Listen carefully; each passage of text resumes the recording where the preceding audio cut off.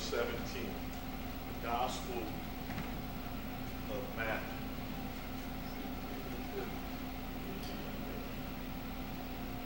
Look at that. Before we just ask God to bless us. Father, thank you for this word. We thank you, Father God, how your word gives light to our lives, how it illuminates us, Father God, how it guides our path. Now let the self be seated in all of us, Father God, that we may come to learn of your word more excellent and come to know you in a more excellent way, Father. We bless you, we love you, we adore you. And we ask this in Jesus' name. Amen. Amen. Matthew chapter 16, verse 17. That's where we're going to start. And it reads, And Jesus answered and said unto him, Thou, Simon Barjona, for flesh and blood had not revealed it unto thee, but my Father which is in heaven. Verse 18. And I say also unto thee, that thou art Peter, and upon this rock I will build my church, and the gates of hell shall not prevail against it. Amen. Amen. Amen. We want to first uh, look at this particular passage of Scripture and just ask the question, um, what did um, Jesus told Peter that flesh and blood did not reveal that to him? What was uh, what was Jesus referring to? Who, who he is. He, you remember he asked a question. It's not a trick question. Some of y'all, is that a trick question? it's not a trick question. He asked his disciples, whom do men say that I am? Because Jesus knew there were all sorts of things going around, and the, the, um, the disciples were listening and hearing things. Now they were following Jesus, but they, they heard those things. And he asked them, um, Jesus, Jesus was the master teacher, and he wanted to teach his followers. He wanted to teach the disciples because Jesus knew that he was preparing to leave them. And he had to equip them, right, with the word of God. So those three and a half years of his ministry, he was equipping them. And they said some of the dumbest things. Um, like us. You know, our parents are teaching us and teaching us and, and, and, telling us not to do anything, and then we ask some of the stupidest questions.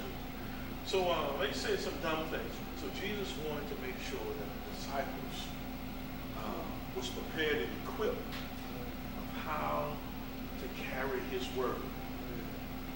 How to carry his word. And we'll see it clearly as we go. So he asked him, Whom do men say that I am? And that brings me to the question. You know, Pastor Vincent has asked this on many occasions. He has asked, if Jesus comes back in the next five seconds, do you know that you know that you know that you will go with him? And you know, you have people who are in the church who don't know that they know that they are saved. So Jesus was preparing his disciples. And let's see um, some of their responses um, of what they said. We saw that uh, earlier, it said, he said, some say that you are who? John the Baptist. Some Elijah, and others say Jeremiah, one of the prophets. But Jesus wanted to know, whom do you say that I am. Because upon your belief, I will establish my what? Church. He will, upon your belief will my church be established. And you have to know who you are in Christ Jesus, you're in the church. He said, Whom do you say that I am? And I could imagine the disciples looking um, powerful It's Peter, the loudmouth, the one who's always getting in trouble, the one who, who's, who's out walking on water and fighting and cutting off people ear and all that. Peter stood up and said, Thou art the what? The Christ, the Son of the living God. And Jesus said, Oh, Peter, flesh and blood, this stuff, this skin, our nature couldn't reveal that to him he said flesh and blood could not reveal that unto you. But it was what? It was his Father from heaven. The Spirit of God had to reveal who you are. So he says, listen how Jesus answered him. Jesus said, What? Blessed. Blessed art thou, Simon Barjona. And we see that word blessed. And I usually identify with that. You know, it's amazing when you do a little study, you can get some things that you say, hmm. So two times three equals this, plus this to the degree equals that. Boy, if you do a little study, you could get those things. Um, blessed has some different meanings. One of the meanings is most we equate it to as being happy. It's being happy. But when it translates, um, happy is translated into English. It's English. We know that the Greek and Hebrew words had um, lots of different meanings, and they meant a whole lot more. Um, we use love now like it's nothing. But and we know that there's different meanings for for love. But blessed had some meaning, and one of the meanings is it's not about happy, because happy comes from the English word. They say that is called hap, which means to be what? Lucky. And you have favorable circumstances. So when I'm happy, I have what? There's something going in my favor, right? Um, but this blessed that we speak of as a meaning. Um, so now I look at blessed not as happy, but as divine joy. That divine happiness that comes from, um, that only comes from God. And also, blessed here means to be fully satisfied, regardless of my condition I am fully satisfied because I have been indwelt by the, the Spirit of God. And that's where Peter got that from. He was what? Indwelt by the Spirit of God that he could give an account of who God was to him in his life. And what did he see? Thou art the Christ, the Son of the living God. And nothing in us of ourselves could reveal that to us. But it has to be the Spirit of God just as we come unto Jesus, was really setting a predicate for how we come unto Jesus. We can't come to the Father but by what? By Him. We can't get to God but by Him. Because you remember they asked the question. Uh, we want to see God. We want to know God and stuff. He said, if you, the disciples asked that, he said, if you know me, you know my Father. If you see me, you see my Father. So uh, there's no other way that we can come to Christ, um, to come to, to Him, but We must go. And then it says, upon, he said, Peter, upon this, this rock, I will build my church. And what is the rock? Jesus. Yeah, say Yeah, you got a hundred so far, sister. you got a hundred, you've had a thousand. Hey, listen, the rock is Jesus. And, and, and what that symbolizes, when you talk about a rock, you talk about a, a foundation, something that's solid, that can't be shaken and moved. He said, upon the profession of your faith, upon your belief that, that I am the Son of God, I will build my church. And what is the church? The church the ecclesia, the, the, the called out assembly, is nothing but true believers in the Son of God. Not, you as I say, true. Not fake or coming there half and I might know. True believers in the Son of God. So he said, upon this rock, upon Jesus, upon the profession of your faith and the belief in Christ Jesus, I will build my church and something else.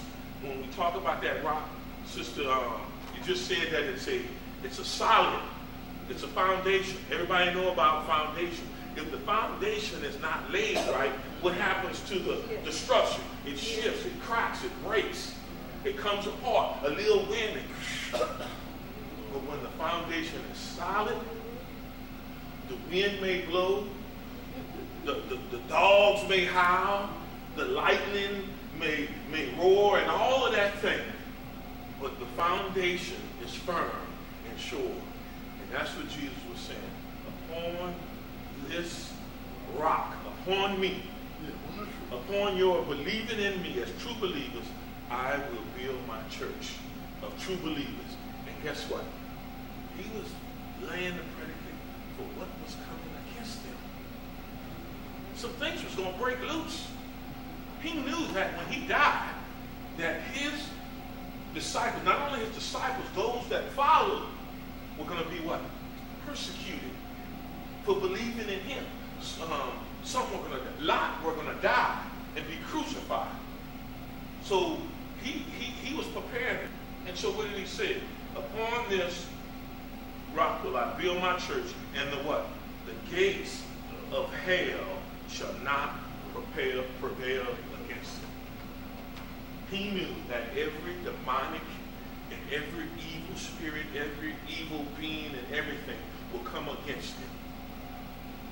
But he said, my church will not fail. It will prevail in the end. Uh, what, what, what a, um, a wonderful um, consolation and thought to, to know that the Christ that we serve is solid. It's not something, you, you, you ever been around people who were, who were kind of wishy-washy, who, who were vacillating in what they believe. Yeah, I think I believe this. Somebody else said, no, but I go over here. No, I do this. And no, I change my mind. And no, I don't want to go. That's not the word of God. That's not the church of God. It's solid. And guess what? Do we see the gates of hell coming against the church now? Yes. All manner of things are happening in the church. When someone could walk in a church and murder nine people having Bible study like we have it now. When some people could walk in, when people could bomb and burn churches, when there's all kind of mess and, and, and division and derision that's in the church. But God's word is true, and it will prevail through all of that. Everything in this world will pass away but that which comes out of what? The church. And what is that? His word and his people. Everything else is going to pass away. Heaven and earth shall pass away, but thy word will do what? Will be forever.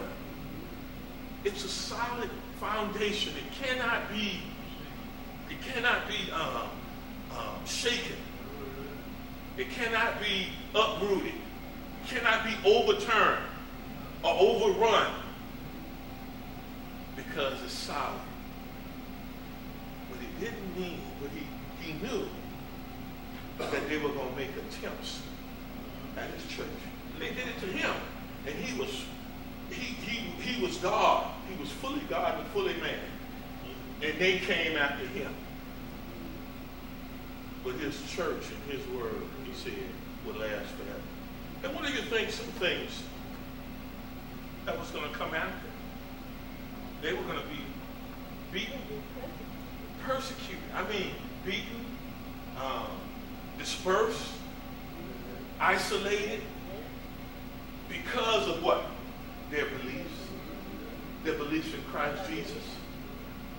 And if there's any doubt that I am to be in question about my belief in God, then you need to look at your, your walk with Christ. There should be no doubt.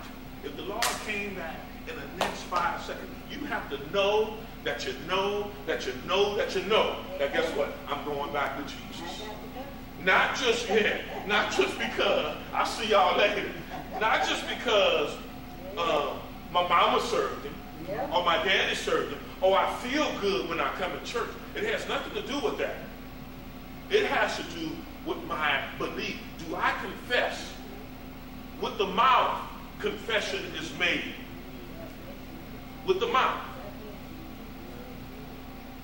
So he said the gates of hell, Jesus said the gates of hell shall not prevail against it. And the floodgates were open. You know, the, the uh, 120 or so was in the upper room when when Jesus was crucified and they were in the upper room. Do you think they were having a party? No. What were they? They were scared. They were scared that them Roman soldiers, not only the Roman soldiers, wasn't so much in Roman? them, them, them, them Pharisees, the Sanhedrin, the Pharisees, the Sadducees, that, that, that council, the Jewish people, the own people, they were the ones. We're not going to have y'all just um, stirring things up here about this Jesus. He had been crucified. But you know, the week before he was crucified, they were shouting, Hosanna, Hosanna, and blessed be to the name of the Lord. Sister uh, uh, Felicia, that's what she was. They, they, they shout, Hosanna, Hosanna, and then the next word they say what? Crucified, cruci- cru- just crucified. And here we come. Here the floodgates come up against the church. The gates of hell was unleashed when Jesus left. But he told them something before he left. That's why I like this lesson so much. He told them something before he left. Did he tell? You know, when you were praying, he said, I'm going to, he said he was going to do what? I'm going to prepare a place for you. There, where I am, there you might be also. But he told him something else in that same, those same words. That what? Because we hear this all the time. Jesus said he was getting his disciples ready. Anything that he takes us to and um, or in, he's going to equip us for. He brought Moses and he told him, he put him on the backside of the desert for 40 years. He brought him out there and he said, you're going to go tell Pharaoh to let them people go. That's like me going up to the White House and say, you know what? Um, yeah, listen here, President. I want reparations for all for all blacks and everything. Like, yeah, give them their 40 acres. That's like going up there and saying that. They'll arrest me and take me out. He had to go before Pharaoh. Moses had to go before Pharaoh, this mighty man with this nation, and had all these four plus million of Jews enslaved, and I got to go tell them to let him go. And what am I going with? I'm going with Aaron, who probably was scary also, and a stick, a staff. And guess what? I don't talk that well. I kind of stutter when I talk. But anytime he takes us into something, he's going to equip us.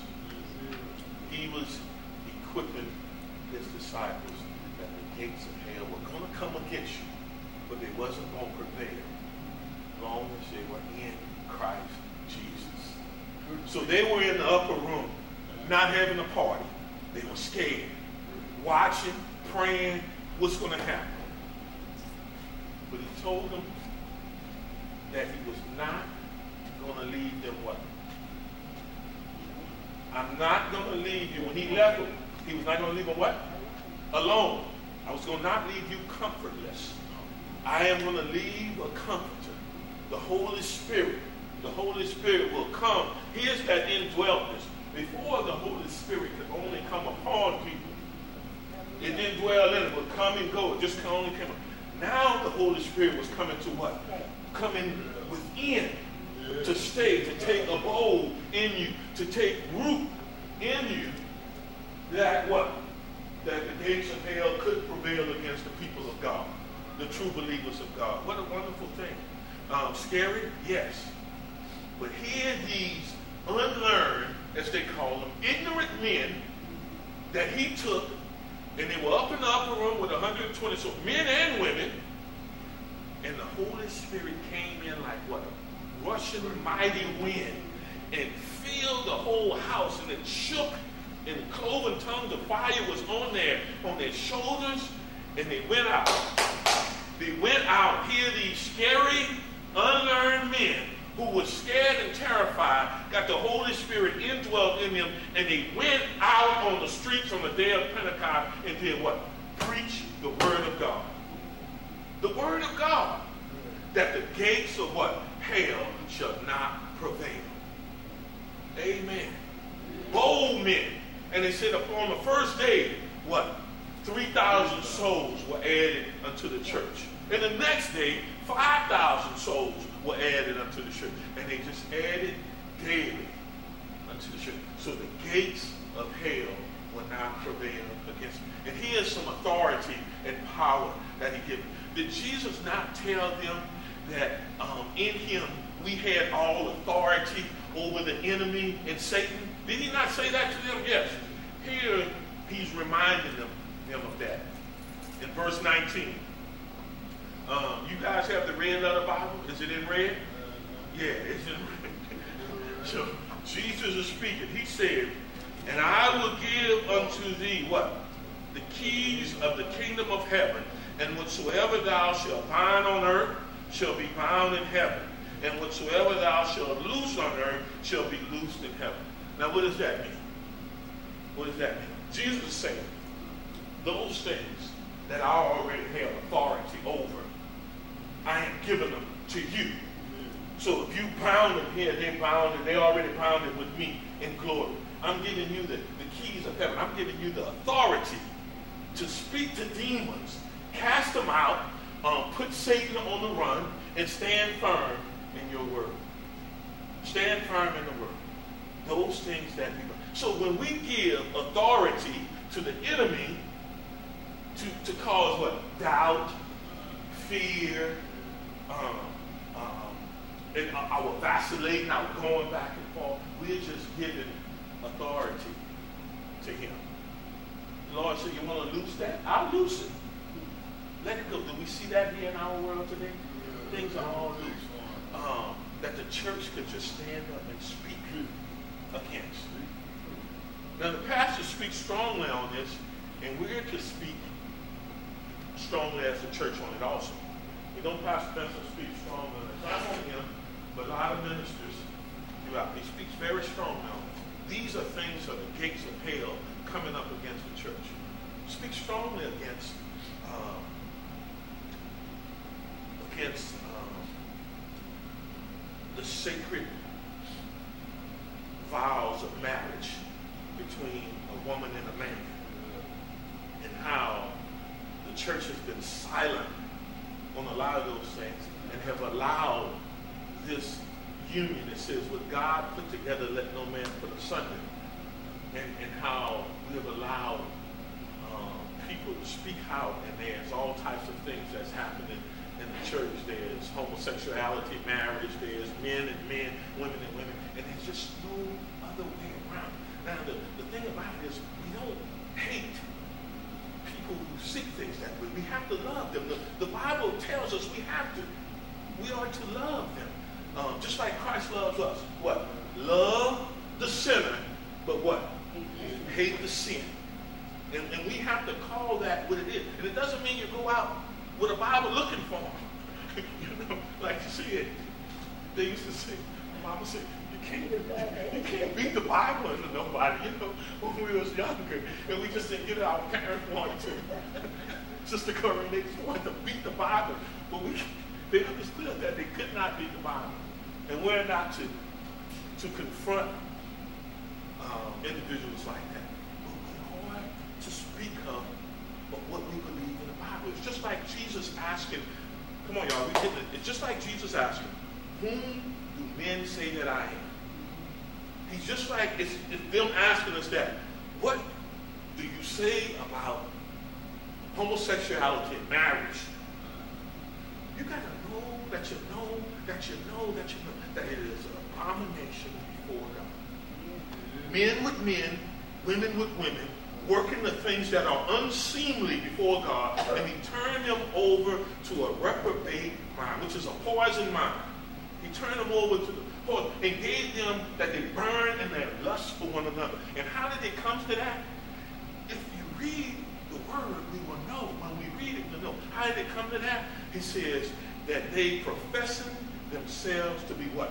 Wiser than God. Anywhere in the Bible where you see somebody professing themselves to be wiser than God, just keep reading a few more things down. He's going to turn them into fools.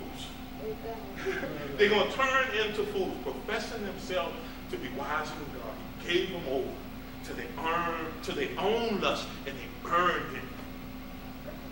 That's New Testament. That's wrong. You could go all the way back to Leviticus when it talks about that men were not to lay with men and women were not to lay with women. That's all the way back then. So those are the gates of hell coming up against the church. And we ought to stand like Peter said, and said that you are the Christ, the Son of the living God. And we are to, to we are to, to proclaim his word in season and out of season. The gates, that the gates of hell will not prevail against. Now guess what? Whether we do it or not, someone will. If it has to be what? if it has to be those rocks of Brother John Cain, to stand up and say, hey, look, that's sin. If we don't do it, the Lord will will execute it, that someone will, that the gates of hell won't prevail. So the Lord has given us the authority to bind those things. He has given us the authority to bind things. Not those people. That doesn't mean people. That's, that's not for us. That's God's only. It means those things. We're to bind those things of, of homosexuality, not the people. That's God's. That's God's doing. And guess what? He can change and turn their heart around. He can change and turn their heart around. Um, it was it was just like um, my vehicle got um, burglarized the other day. It was so quick. They did it so quick, and how they did it, it was. They took my my um, business checkbook that sat on the floor, and I had a gift, a baby shower gift in a bag, beautiful bag. It was bright and shiny. It was on the back. It was on the floor, and they, they took that and a checkbook. They didn't look in the, so they know they was in a hurry. They didn't look in the console. They would have got a lot of stuff until just lifted in the console. But they, they, they grabbed that.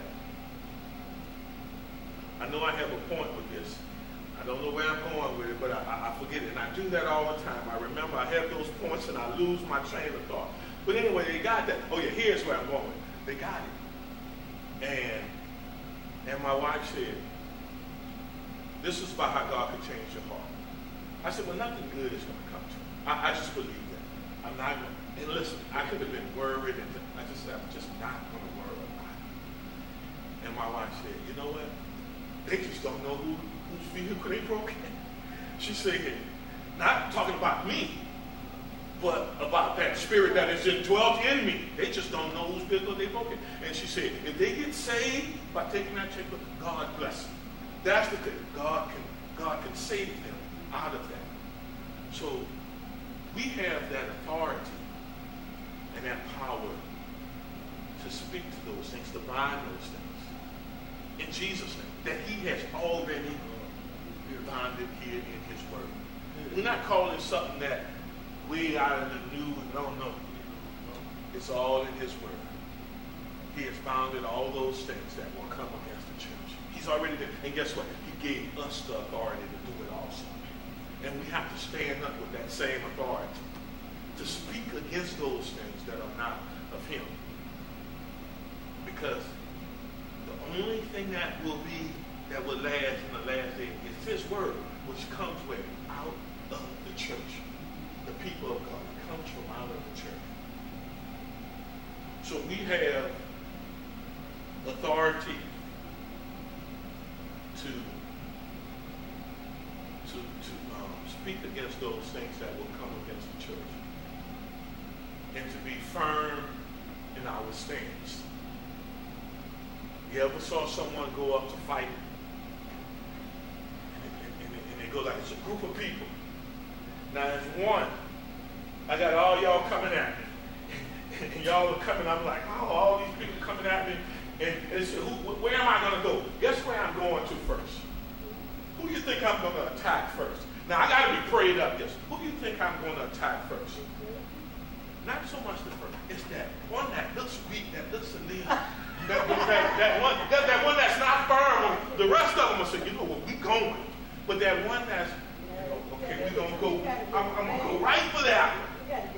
And I'm going to pummel his head. And I'm going to whip his head. But uh, that's the one. Oh, you know, there are times when the one who's talking the loudest. It's the one who's throwing, who's throwing all them wolf cookies. You know, you got to hit him in the mouth. And guess what the others going to do? They're going to take off. That's just what uh, David did to Goliath, right?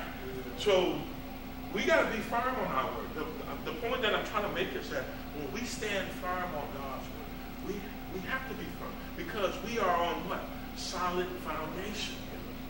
We're stepping out on his word, the rock, which is Christ Jesus.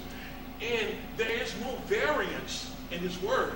There's no lying, no wishy-washy, no oscillating, no going back and forth. It's just the word of God. And that's all we have to stand on, is the word of God.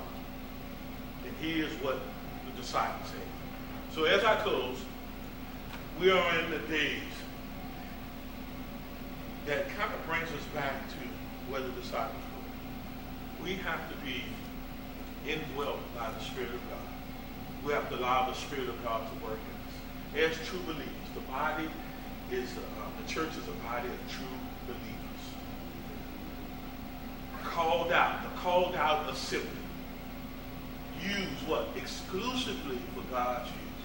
That's us as the church as we move. And how we are to stand against those things that will come against. us. And know that God is with us and that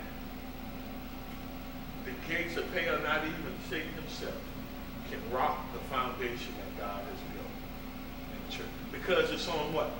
He built it on him. And guess what? He can't lie. He can't lie. He'll put Satan and all of his imps on the run. But when we go in ourselves, and when we go in our own strength, and our own little pea brain knowledge that we have. We think we're wise and we're going our own little pea brain knowledge. And we're going all our fluffiness and hardiness and, and sticking out our chest and all of our degrees and our education and all of that foolishness. When we go in that, that's when we are made to look like fools. But guess what? The church of God will always be. The church of God will always be. So we're to go in that video. Whom do men say that I am? You are the Christ, the Son of the living God. And upon this profession, Christ said he will build his church, us. We're the church. He will build his church. And no matter what comes against it, the gates of hell could open up. And it will not prevail against the church. And he's given us what? Authority to bind and to loosen things that he has already get that he has already done. He's already had victory over. Because we know that when we die, even death, even death, because I know that when I die, guess what? My, yeah, my, my soul just takes flight to be with Jesus. Satan, you could never have me. You could throw things against me and all that, but you could never have me because even in death, he's already overcome death. Death and the grave couldn't hold him. So even in that, we'll be with him in glory. Amen. Amen. Amen. And amen. It's the lesson. That's it. God bless you. God bless those who are visiting by internet. We thank God for you. Uh, and we're going to close with our prayer. And just be mindful that it's 7.55, so I did my piece. If we get out here at 8,